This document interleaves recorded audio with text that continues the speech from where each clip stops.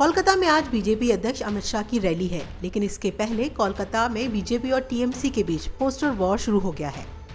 एक ओर जहाँ अमित शाह के स्वागत में जगह जगह पोस्टर लगे हैं तो वहीं दूसरी ओर शहर के मायो रोड पर शाह और बीजेपी के खिलाफ पोस्टर लगे हैं।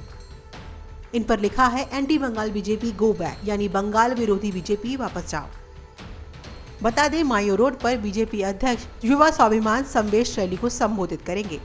लोकसभा चुनाव 2019 को लेकर बीजेपी इस बार बंगाल में काफ़ी सक्रिय है। इसके साथ ही बीते कुछ सालों में आरएसएस ने भी यहाँ पैड बनाई है।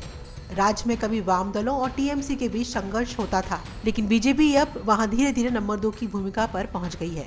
जबकि टीएमसी को जिस तरह से जन समर्थन मिल रहा है, उससे बीजेपी को पार पाने के लिए काफ़ी संघर्ष करना पड़ेगा। बता दें, बंगाल में लोकसभा की 43 सीटें हैं। साल 2014 के लोकसभा चुनाव में टीएमसी को अकेले चौंतीस सीटें मिली थी। इसको देखते हुए बीजेपी को यहाँ कड़ी मशक्कत करनी पड़ेगी। नवोदय टाइम्स ब्यूरो की रिपोर्ट।